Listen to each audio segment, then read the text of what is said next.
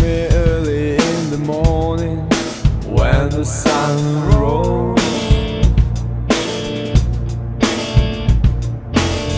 We went to the top of the mountain, we climbed high. You told me there that we became so close.